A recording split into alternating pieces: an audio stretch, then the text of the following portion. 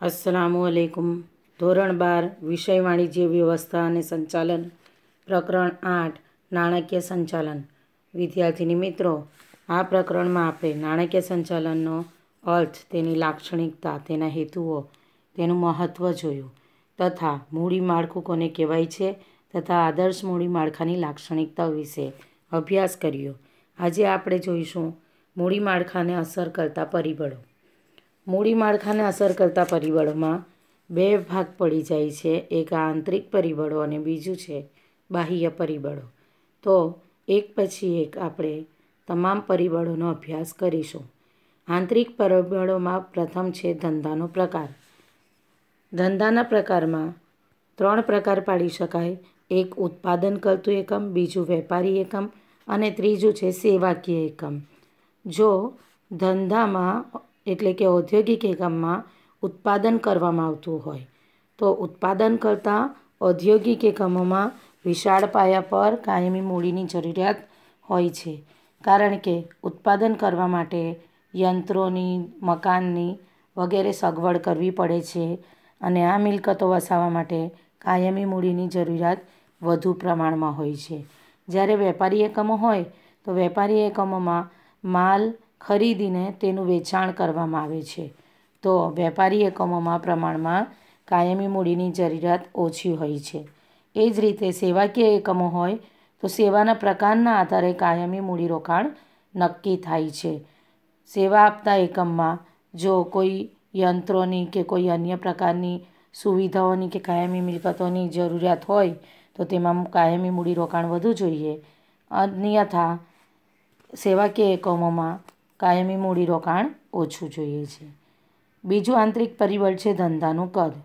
સ્વાભાવિક રીતે મોટા કદના એકમો હોય તો તેમાં વિશાળ પ્રમાણમાં પ્રવૃત્તિઓ થતી હશે અને તેને માટે મોટા પ્રમાણમાં કાયમી મૂડીની જરૂરિયાત ઊભી રહે છે. એ જ રીતે નાના કદના ઔદ્યોગિક એકમો હોય તો તેમાં ઓછા પ્રમાણમાં પ્રવૃત્તિઓ થતી હશે અને તેમાં કાયમી મૂડીની જરૂરિયાત પણ ઓછી રહે છે. જો વેપારી એકમો હોય, તો વેપારી એકમોમાં પણ કાયમી મૂડીની જરૂરિયાત ઓછી હોય છે. ત્રીજો આંતરિક પરિબળ છે ધંધાની કમાણીના અંદાજો. જો ધંધાકીય એકમમાં કમાણી સ્થિર રહેતી હોય, તો તેમાં ઓછીની મૂડી પર આધાર રાખી શકાય. કારણ કે સ્થિર કમાણીમાંથી દર મહિને કે દર વર્ષે જે વ્યાજ ચૂકવવાનું હોય તે સ્થિર કમાણી થતી હોવાથી તેમાંથી વ્યાજ અવિરતપણે ચૂકવી શકાશે. કેટલાક ધંધામાં કમાણી અસ્થિર હોય છે, તો તેવા સંજોગોમાં માલિકીના ભંડોળ પર આધાર રાખવું વધુ હિતાવહ છે. ચોથું આંતરિક પરિબળો છે મિલકતોનું સ્વરૂપ અને જરૂરિયાત. મોટા પાયા પર કાયમી મિલકતોની જો ધંધામાં જરૂરિયાત હોય, તો આપણે જાણીએ છીએ કે કાયમી મિલકતોમાં વધુ મૂડી રોકાણ કરવું પડે છે અને તે લાંબા ગાળા સુધી કરવાનું હોય છે, તો તેમાં ઇક્વિટી શેરનું પ્રમાણ વધુ હોવું જોઈએ. જ્યારે કાયમી મિલકતોમાં રોકાણ વધુ કરવાનું હોય, ત્યારે એ મિલકતો ખરીદવી પડે છે અથવા તો ખરીદવાની સામે બીજું ઓપ્શન હોઈ શકે કે ભાડા ખરીદથી કે ભાડા પટ્ટાથી તે મિલકતો લઈ શકાય. એટલે મૂડી માળખું કઈ રીતે રાખવું? અને કેટલા પ્રમાણમાં કેવા પ્રકારની મૂડી છે તેના આધારે મિલકતોમાં રોકાણ કરવું એટલે કે મિલકતો ખરીદવી, કે ભાડેથી રાખવી, કે ભાડા પટ્ટાથી રાખવી, તેનો વિચાર નાણાકીય સંચાલકે કરવો પડે છે. પાંચમું આંતરિક પરિબળ છે સંચાલકોનું વલણ. સંચાલકો જો ધંધાકીય એકમમાં પોતાનું વર્ચસ્વ રાખવા ઈચ્છતા હોય, પોતાનું અંકુશ જાળવી રાખવા ઈચ્છતા હોય, તો તેઓ વધુ પ્રમાણમાં ઇક્વિટી શેર બહાર પાડવાની જગ્યાએ પ્રેફરન્સ શેર કે ડિબેન્ચર પર વધુ આધાર રાખશે. કારણ કે ઇક્વિટી શેર હોલ્ડરો કંપનીના સાચા માલિકો કહેવાય છે અને તેમને કંપનીના દરેક સભામાં હાજર રહેવાનો તથા પોતાનો મત આપવાનો અધિકાર હોય છે, તો તેઓ સંચાલકોના કાર્યમાં દખલગીરી કરી શકે છે. પરંતુ જો સંચાલકો પોતાનું કંપનીમાં અંકુશ જાળવી રાખવા ઈચ્છતા હશે તો તેઓ પ્રેફરન્સ શેર કે ડિબેન્ચર વધુ પ્રમાણમાં બહાર પાડશે. છઠ્ઠું આંતરિક પરિબળ છે નાણાકીય જરૂરિયાતો. ઓછા પ્રમાણમાં મૂડીની જરૂરિયાત હોય તો માત્ર ઇક્વિટી શેર બહાર પાડી શકાય અને મૂડી ભંડોળ એકઠું કરી શકાય. પરંતુ જો વિશાળ પ્રમાણમાં મૂડી ભંડોળની જરૂરિયાત હોય તો અન્ય પ્રકારની જામીનગીરીઓ પણ બહાર પાડવી પડે છે. જેમ કે પ્રેફરન્સ શેર કે ડિબેન્ચર કે બોન્ડ એ પ્રકારની જામીનગીરીઓ બહાર પાડીને પણ મૂડી ભંડોળ મેળવવું પડે છે. આ ઉપરાંત મૂડી માળખું તૈયાર કરતી વખતે કંપનીના ધ્યેયો, એમાં ટૂંકા ગાળાના ધ્યેયો, લાંબા ગાળાના ધ્યેયો વગેરેને પણ ધ્યાનમાં લેવું પડે. તેમજ યોજનાઓ કયા પ્રકારની છે, ભાવિ વિકાસની શક્યતાઓ કેવી છે, તેની ઉપર પણ આધાર રાખવો પડે છે. અને તેમાંથી ભવિષ્યમાં કેટલી કમાણી થશે અને ભવિષ્યમાં કેટલી નાણાકીય જરૂરિયાત ઉદ્ભવશે તેને પણ ધ્યાનમાં લેવું પડે છે. સાતમું આંતરિક પરિબળ છે મૂડીની જરૂરિયાતનો સમય. મૂડીનો જરૂરિયાત લાંબા ગાળા માટે છે કે ટૂંકા ગાળા માટે છે? આ પરિબળ પણ મૂડી માળખાને અસર પહોંચાડે છે. જો મૂડીની જરૂરિયાત કાયમ માટે હોય, તો ઇક્વિટી શેર બહાર પાડવાનું સલાહભર્યું છે. બીજી બાજુ, જો કંપનીને ટૂંકા ગાળા માટેની જરૂરિયાત હોય તો ડિબેન્ચર કે પ્રેફરન્સ શેર બહાર પાડીને મૂડી મેળવી શકાશે. તો આ થયા મૂડી માળખાને અસર કરતા આંતરિક પરિબળો. આગળ છે મૂડી માળખાને અસર કરતા બાહ્ય પરિબળો.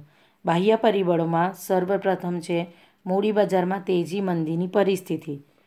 જો મંદીનો સમય હશે તો રોકાણકારોની દ્રષ્ટિએ આપણે જોઈએ તો રોકાણકારો મંદીના સમયમાં ઇક્વિટી શેર મૂડીમાં રોકાણ કરવાની જગ્યાએ જેમાંથી વ્યાજ, સ્થિર વ્યાજની આવક પ્રાપ્ત થાય તેવા ડિબેન્ચરમાં રોકાણ કરવાનું પસંદ કરશે. કારણ કે ડિબેન્ચર પર દર મહિને અને દર વર્ષે નિશ્ચિત દરે નિશ્ચિત સમયે વ્યાજ મળે છે. તો જો મંદીનો સમય હશે, તો રોકાણકારો ડિબેન્ચરમાં રોકાણ કરવાનું પસંદ કરશે. એની સામે જો તેજીનો સમય હશે, તો તેજીના સમયમાં નફો વધારે પ્રમાણમાં થશે અને તે વધારે નફામાંથી ઊંચા ડિવિડન્ડ મેળવી શકાય તે અપેક્ષાએ રોકાણકારો ઇક્વિટી શેરમાં વધુ રોકાણ કરવાનું પસંદ કરશે. આમ મૂડી માળખાની રચનાને આધાર મૂડી બજારમાં પ્રવર્તમાન વલણો ઉપર એટલે કે તેજી મંદી પર રહેલો છે. બીજો બાહ્ય પરિબળ છે બજારમાં પ્રવર્તમાન વ્યાજનો દર.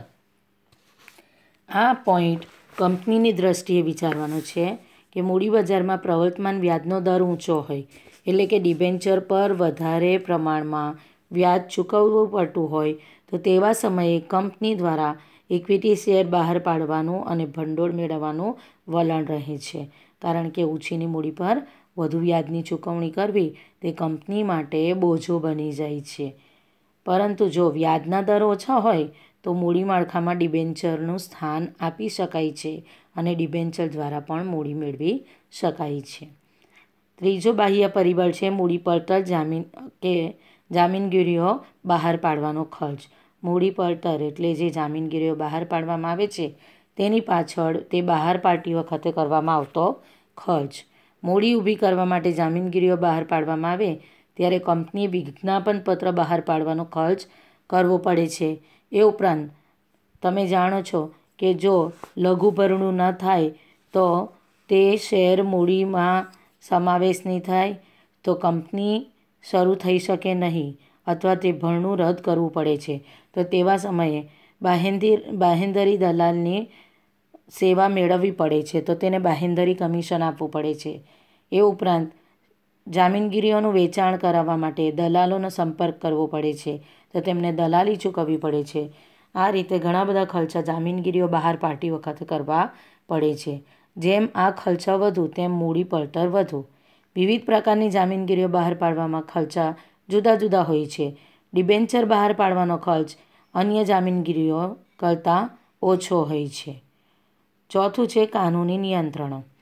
મૂડી માળખું પસંદ કરતી વખતે કંપનીએ ઘણા બધા કાનૂની જોગવાઈઓનો અને નિયંત્રણોનો ધ્યાન રાખવું પડે છે. કંપની ધારા પ્રમાણે જામીનગીરીઓ બહાર પાડવામાં આવે તો અને તે રીતે મૂડી ભંડોળ મેળવવામાં આવે, ત્યારે ઇક્વિટી શેર તો બહાર પાડવા ફરજિયાત જ હોય છે. તે આપણે જાણીએ છીએ કે જાહેર કંપની હોય તો તેણે ઇક્વિટી શેર જાહેર જનતા માટે બહાર પાડવા પડે અને ખાનગી કંપની હોય તેણે પણ ઇક્વિટી શેર બહાર પાડવા પડે, પરંતુ તે ખાનગી ધોરણે તે મૂડી મેળવી શકે છે. આ ઉપરાંત સેબીના નિયમોનું, આરબીઆઈના નિયમોનું તથા કંપની ધારાની જોગવાઈઓનું પણ ધ્યાન રાખવું પડે છે. તે નિયમોનો અને કાયદાઓનું પાલન કંપનીએ કરવું પડે છે. પાંચમું છે કરવેરા નીતિ. કરવેરા નીતિમાં જો કરવેરાનું પ્રમાણ ઊંચું હોય, તો કંપની ડિબેન્ચર બહાર પાડે છે. કારણ કે ડિબેન્ચર બહાર પાડવામાં આવે, તો તેની ઉપર વ્યાજની ચૂકવણી કરવામાં આવે છે. અને વ્યાજ એ ખર્ચ છે એટલે કરવેરાના હેતુ માટે તેને આવકમાંથી કપાત તરીકે મજરે આપવામાં આવે છે. એટલે વ્યાજની ચૂકવણી કરવેરામાંથી બાદ કરવામાં આવે તો ઓછો આવકવેરો ભરવો પડે છે. તે હેતુથી કંપની દ્વારા ઊંચું કરવેરાનું પ્રમાણ હોય તો ડિબેન્ચર વધારે પ્રમાણમાં બહાર પાડવામાં આવે છે. એ રીતે રોકાણકારોની દ્રષ્ટિએ જોઈએ તો જ્યારે ડિવિડન્ડની આવક કરમુક્ત હોય, તો કે ડિવિડન્ડની આવક પર નીચા દરે કર વસૂલાત કરવામાં આવતી હોય, તો રોકાણકારો ઇક્વિટી શેરમાં વધુ રોકાણ કરવાનું પસંદ કરે છે. એટલે કરવેરાનું પ્રમાણ ઊંચું હોય તો કંપની દ્વારા ડિબેન્ચર બહાર પાડવાનું વધુ વલણ હોય અને ડિવિડન્ડ જો કરમુક્ત હોય અથવા નીચા દરે તેની ઉપર ડિવિડન્ડ પર કર વસૂલાતું હોય તો રોકાણકારો ઇક્વિટી શેર ખરીદવાનું વધુ પસંદ કરે છે. છઠ્ઠું છે સંસ્થાકીય રોકાણકારો. સંસ્થાકીય રોકાણકારો કોને કહેવાય? તો વીમા કંપનીઓ છે બેન્કો છે, રાજ્ય અને કેન્દ્ર સરકારની નાણાકીય સંસ્થાઓ છે, તેમને સંસ્થાકીય રોકાણકારો કહેવામાં આવે છે. તેઓ તેમના સ્થાપિત નિયમો અને શરતોને આધીન રહીને કંપનીઓના શેર કે ડિબેન્ચરમાં રોકાણ કરે છે. કારણ કે આવી સંસ્થાઓમાં, જેમ કે વીમા કંપનીની વાત કરીએ, તો વીમા કંપનીમાં નાગરિકો પોતાની વીમા પોલિસી ખરીદે છે અને તેની ઉપર દર મહિને કે ત્રણ મહિને કે છ મહિને અથવા દર વર્ષે વીમા પ્રીમિયમ ભરે છે. તે આવકમાંથી આવી સંસ્થાઓ દ્વારા કંપનીઓમાં શેર કે ડિબેન્ચરમાં રોકાણ કરવામાં આવે છે. એ જ રીતે બેંક પણ કંપનીઓમાં રોકાણ કરે છે. મૂડી માળખાની રચના કરતી વખતે કે મૂડી માળખાની રચનામાં ફેરફાર કરતી વખતે આ બધી સંસ્થાઓના વલણો કેવા છે? તો તે ધ્યાનમાં લેવું પડે છે અને તેમની શરતોની વિચારણા પણ કરવામાં આવે છે. એટલે આવી સંસ્થાઓ જો વ્યાજની આવક મેળવવા ઈચ્છતી હોય તો તે વખતે સંસ્થાઓ દ્વારા ડિબેન્ચર ખરીદવાનું વલણ હશે. પરંતુ તે ડિવિડન્ડની આવક મેળવવા ઈચ્છતી હોય તો આવી સંસ્થાઓ દ્વારા ઇક્વિટી શેર મેળવવાનું કે ખરીદવાનું વલણ હશે. તો આવી આ નાણાકીય સંસ્થાઓ અને સંસ્થાકીય રોકાણકારોનું વલણ કેવું છે? તેમની શરતો કેવી છે? તેના અંગે વિચારણા કરવામાં આવે છે. સાતમું છે વિદેશી સંસ્થાકીય રોકાણકારો. વિદેશી રોકાણકારોની સંસ્થા એવી સંસ્થા છે કે જેની સ્થાપના તો, સ્થાપના અને નોંધણી બંને ભારતની બહાર થઈ છે, એટલે કે વિદેશમાં થઈ છે. પરંતુ એમનો મુખ્ય ઉદ્દેશ ભારતમાં પ્રાથમિક અને ગૌણ બજારમાં નિયત કરેલી જામીનગીરીઓમાં રોકાણ કરવાનું છે. એટલે કે ભારતની જામીનગીરીઓ ખરીદવાનું તેમનો હેતુ હોય છે. તો વિદેશી રોકાણ સંસ્થાએ આ જામીનગીરીઓ ખરીદવા માટે શું કરવું પડશે? તો તેમણે સેબી સમક્ષ આવી સંસ્થાઓએ નોંધણી કરાવવી પડે છે. આવી સંસ્થાઓને ભારતીય કંપનીના શેર ડિબેન્ચર કે અન્ય જામીનગીરીઓ ખરીદવાની મંજૂરી આપવામાં આવે છે. તેના દ્વારા તેઓ ભારતની અંદર જે કંપનીઓ હોય તેના શેર ડિબેન્ચર કે અન્ય જામીનગીરીઓ ખરીદી શકે છે. તો આ થયા મૂડી માળખાને અસર કરતા બાહ્ય પરિબળો. આગલા સેશનમાં ફરીવાર મળીશું. ત્યાં સુધી ઘરે રહો, સુરક્ષિત રહો. અલ્લાહ હાફિઝ.